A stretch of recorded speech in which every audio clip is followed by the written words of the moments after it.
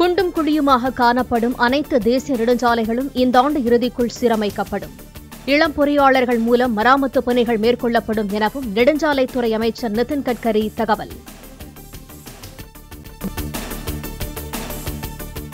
ஐந்து மாநில சட்டப்பேரவை தேர்தல் தொடர்பாக ஆலோசிக்க வரும் முப்பதாம் தேதி கூடுகிறது பாஜக மத்திய தேர்தல் குழு. பிரதமர் மோடி பாஜக தேசிய தலைவர் நட்டா மத்திய அமைச்சர்கள் உள்ளிட்டோர் பங்கேற்பார்கள் என தகவல். டெல்லியில் தச்சு வேலை செய்யும் தொழிலாளர்களை சந்தித்த ராகுல் காந்தி தச்சர்கள் வாழ்வாதாரம் மற்றும் பணிகள் தொடர்பாக கேட்டறிந்தார். சென்னையில் அக்டோபர் மூன்றாம் தேதி தமிழக பாஜக தலைவர் அண்ணாமலை தலைமையில் மாநில மாவட்ட நிர்வாகிகள் ஆலோசனை. பாஜகவுடன் கூட்டணி இல்லை என அதிமுக அறிவித்துள்ள நிலையில் ஆலோசனை என தகவல். வேளாண் விஞ்ஞானி எம் எஸ் சுவாமிநாதன் சென்னையில் காலமானார். வயது மூப்பு காரணமாக தொன்னூற்றி எட்டாவது வயதில் காலமானதாக குடும்பத்தினர் தகவல். எம். எஸ். சுவாமிநாதனுக்கு காவல்துறை மரியாதையுடன் இறுதி அஞ்சலி செலுத்த முதலமைச்சர் உத்தரவு. பெசன் நகர் மின்மயானத்தில் சனிக்கிழமை பகல் ஒரு மணிக்கு இறுதிச் சடங்குகள் நடைபெறும் என உறவினர்கள் தகவல். பாஜகவுடன் இனி எந்த சூழலிலும் கூட்டணி இல்லை என அதிமுக துணை பொதுச் செயலாளர் கே பி முனுசாமி பேட்டி. நாடாளுமன்ற தேர்தலில் மட்டுமல்ல பேரவைத் தேர்தலிலும் இதே நிலைப்பாடு தொடரும் என திட்டவட்டம். இனி எந்த சூழ்நிலையிலும் பாரதிய ஜனதா கட்சியோடு அனைத்து இந்திய அண்ணா திராவிட முன்னேற்ற கழகம் உறுதியாக கூட்டணி இருக்காது. நாடாளுமன்ற தேர்தல் மட்டுமல்ல வருகின்ற இரண்டாயிரத்தி இருபத்தி ஆறில் நடைபெறுகின்ற சட்டமன்ற தேர்தலிலும் உறுதியாக கூட்டணி இருக்காது. தமிழ்நாட்டில் காவிரியில் இருந்து நீர் திறக்கப்படுவதை நிறுத்தக் கோரி நாளை கர்நாடகா முழுவதும் முழு அடைப்பு போராட்டம். முன்னெச்சரிக்கையாக பெங்களூருவில் நள்ளிரவு பன்னிரண்டு மணி முதல் நூற்று நாற்பத்தி நான்கு தடை உத்தரவு அமல்படுத்தப்படுவதாக காவல் ஆணையர் அறிவிப்பு.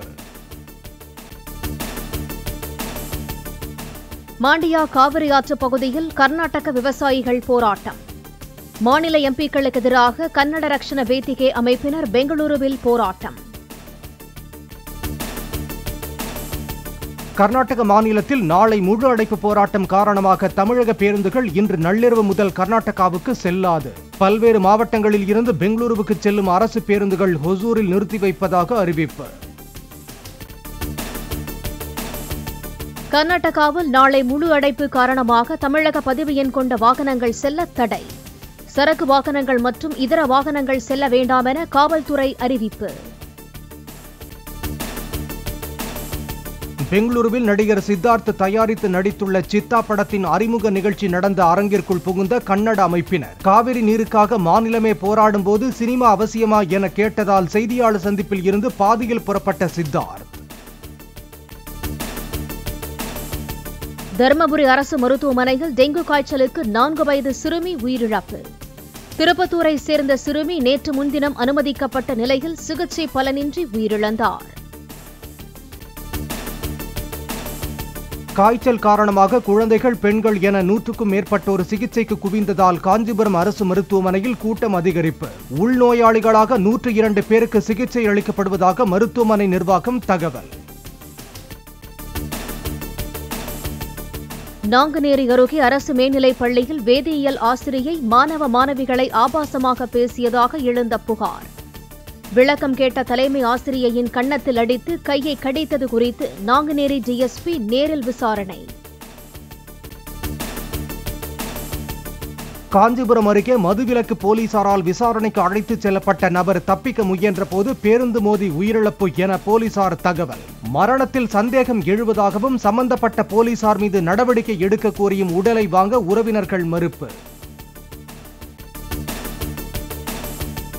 பாஜகவினருடன் கடந்த ஒரு மாதமாக தொடர்ந்து தொடர்பில் இருந்து வருவதாக ஓ பன்னீர்செல்வம் தகவல்.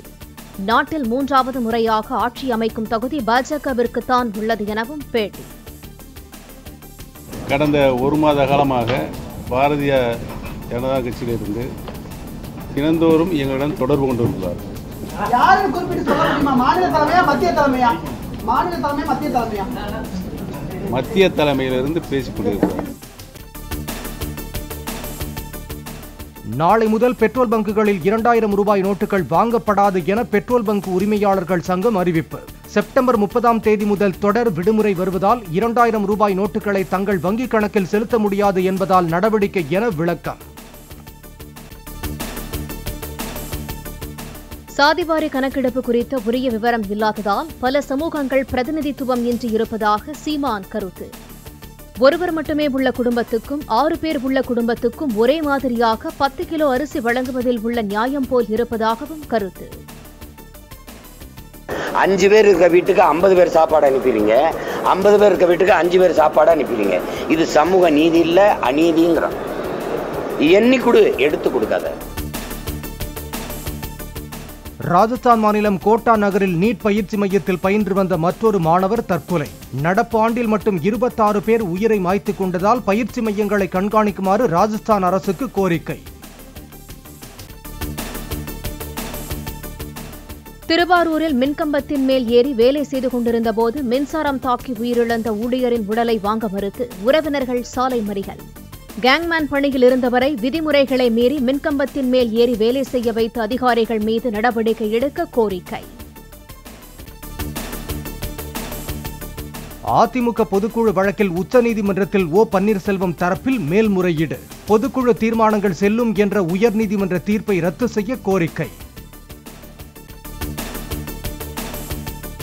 எக்ஸ் ஒன் சீரீஸில் புதிய மாடல் மின்சார எஸ்யூவியை அறிமுகப்படுத்தியது பிஎம்டபிள்யூ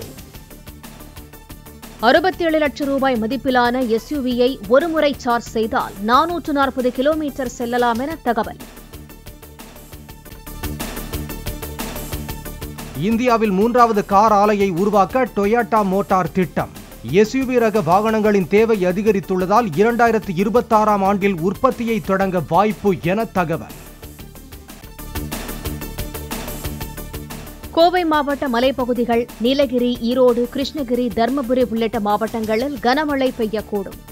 சென்னையை அடுத்துள்ள திருவள்ளூர் காஞ்சிபுரம் மாவட்டங்களிலும் கனமழை பெய்யலாம் என வானிலை மையம் தகவல்.